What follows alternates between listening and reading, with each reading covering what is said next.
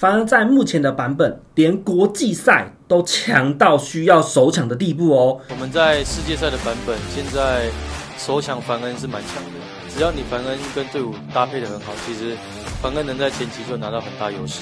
凡恩的持续伤害虽然很猛，但缺点也就是手偏短。你们知道吗？过几天传说就要改版了，改版之后会新出一件装备，叫做日影之弓，可以短时间内增加攻击距离。这岂不是让防恩下个版本又要更强了吗？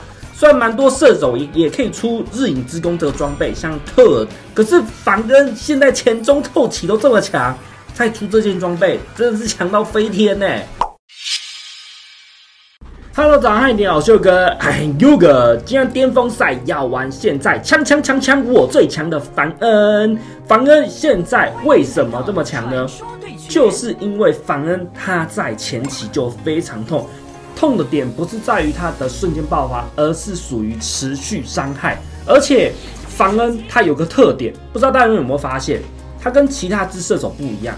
最大最大的差别就是，你看呢，我们左下角的装备出了两件不属于务工类型的装备，这个反恩依旧伤害非常高。就它可以多出个一两件坦装，可是它的伤害呢还是过于常人。好，这就是凡恩他厉害的地方。所以下个版本出了日影之弓来弥补凡恩手短的问题，我相信下个版本的凡恩只要没有被削弱，他会更强。虽然我们对线的特尔下个版本出，他手会更长，可是你要想哦，特尔他要手长，他要强的时期也是在中后期，他不像凡恩，哦前期就非常的强，对，这个不太一样。你看这前期凡恩跟特尔对点，就算特尔要跟我对点了，我讲真的，他绝对点不赢凡恩，因为凡恩你只要控制好你的被动是四成的情况下，你每一次的普攻都可以打出随机的标。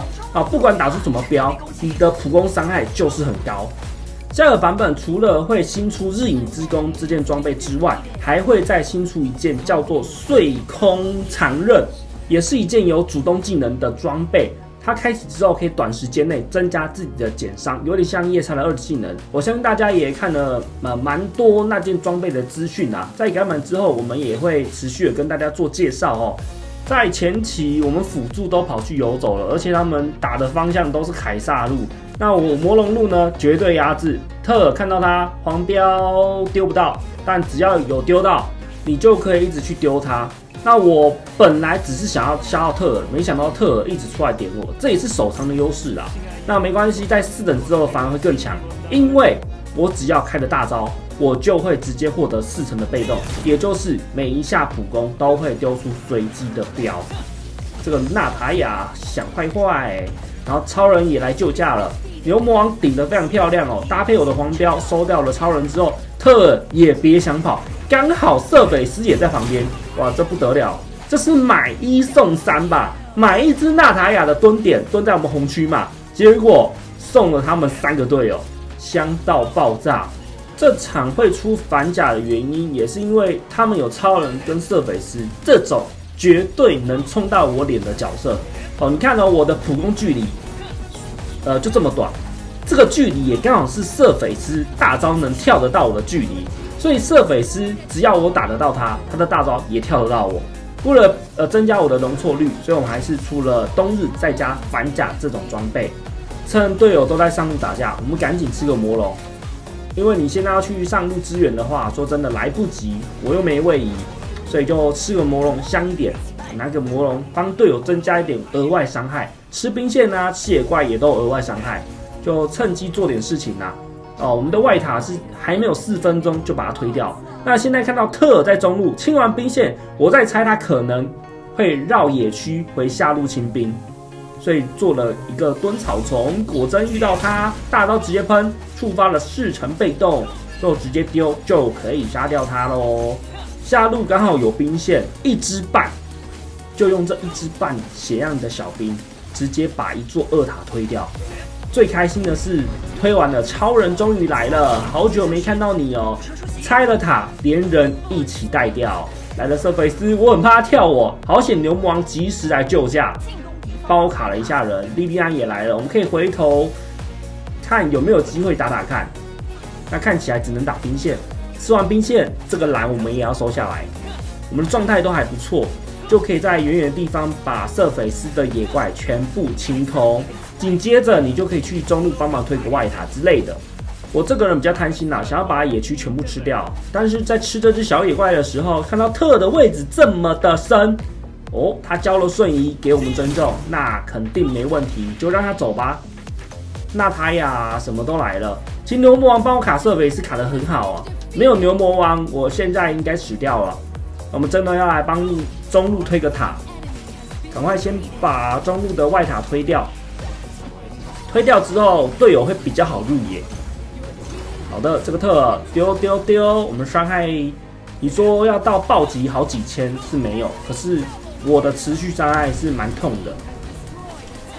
再清一波兵线，清完这波就差不多要退了。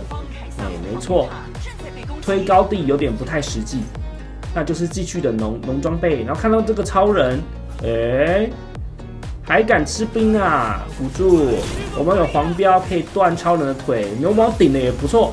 超人连飞都飞不起来，就直接 GG 了。就这版本的超人很难玩的原因，太多控制技能了。我们也去上路帮忙推一下外塔，虽然好像不需要我，但我还是来摸个几下。这样我们拿到了 KD 的分数应该比较高哇！跳出一个瑟斐斯，其实瑟斐斯跳的很好，只是因为现在经济差，真的，刚瑟斐斯挑三个人呢，那也没办法。这个顺逆风的差距已经拉这么大了，七分钟二十比六。现在我们去中路，这超人想要清兵，就把他秒掉吧。这个超人感觉他很软，是因为这个经济差距很大。超人是对面的辅助，辅助呢钱就更少了。那他可能只出到一件辅助装备，坦装都还没来得及出，就被人家打到高地去。上路，呃。我是觉得有机会啦，毕竟我们这么顺风，但队友感觉不是很敢打哇，被超人推出去，就队友站的位置都可能比我还后面。但我是觉得这个经济差距，我们是有机会往前大来看的。很好，对面倒了三个，但是要推高地也没办法，就把红区吃一吃吧。等凯撒撸过来，凯撒来了，只有纳塔亚守哎。这肯定要推掉的，三路全爆，基本上是稳赢的。基本上，有时候也会因为自己贪玩想要塔杀，就输掉。哎，不对，还有一个下路高地耶，那这样子没有三路全爆，这场我有点害怕拖大后期，因为布莱特肥起来之后有点恶心啊。那大刀开起来，哦，超人瞬间被秒。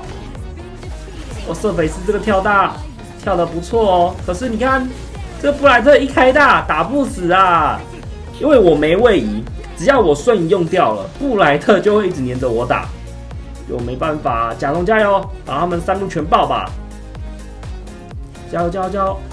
哎呃呃哎哎我五百四十九滴，复活之后队友已经在打架了，等等我马上到，超人晕一下把它收掉，他看起来不需要推下路高地啦。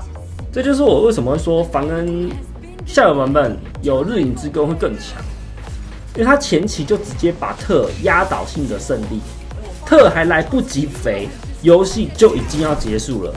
不知道你们怎么看下个版本日影之拥这件装备呢？有哪一些角色适合去出它呢？欢迎留言告诉我，赶快帮影片点一个大家喜欢，我是佑哥，我们就下部影片见喽，拜拜。